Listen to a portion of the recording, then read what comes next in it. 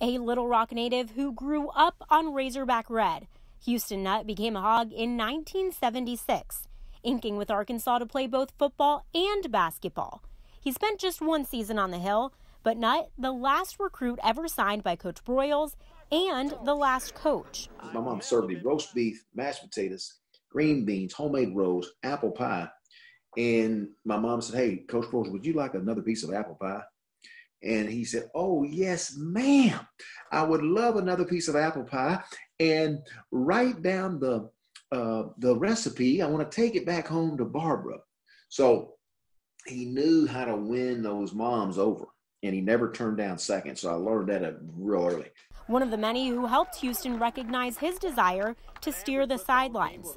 After not getting drafted, coaching called.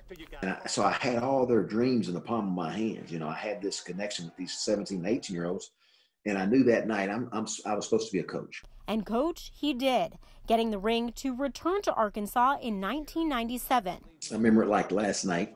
Um, coach uh, Broyles called at 9:30 Mountain Time, and he says, "Houston, want you to come back home.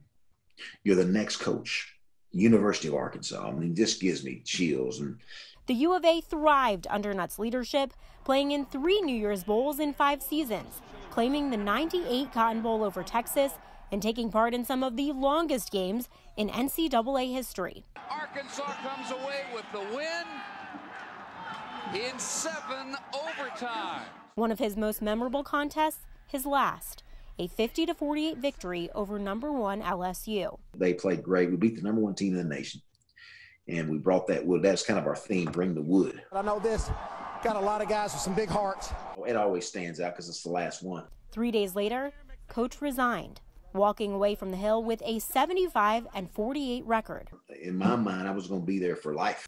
Instead, Nutt became a rebel, saying farewell to Fayetteville, but always coaching with family at the forefront. I feel like players, they don't care how much you know until they know how much you care. Coach, now a college football analyst, never too far from a TV to root for the Razorbacks. When you grow up calling the Hogs, you know, it just becomes a part of you.